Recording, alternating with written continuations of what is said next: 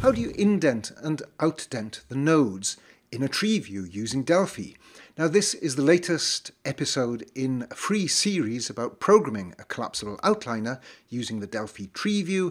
As always, you can download all the projects, all the source code for free from www.bitwisebooks.com. The indent and outdent buttons you can see here, well, they're used to move the selected item uh, one level in or one level outwards when you click them. So you can see here I've got a selected item and if I want to outdent it, I click the outdent button and it goes uh, one level to the left, indent, I press the indent button and it goes one level to the right.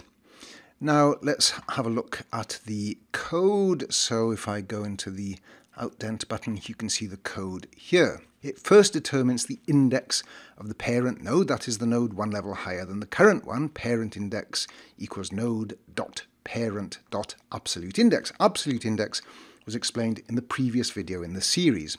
Then it uses the move to method of the selected node to move it to the same level as its parent.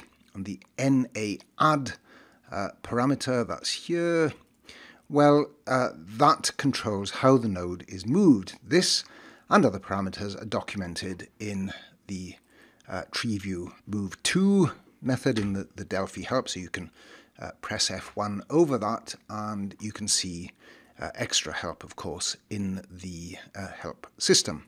The code attached to the indent button is broadly similar apart from the fact that it uses the TTreeNode getPrev sibling and getNext sibling methods to indent the selected item between the previous or the next nodes at the same level as necessary.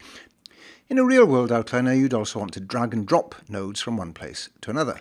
Say I want to take this scene of murder node and put it under, let's have a look, um, under the great white shark. I don't know quite why I want to do that, but there you can see that I've dragged and dropped it.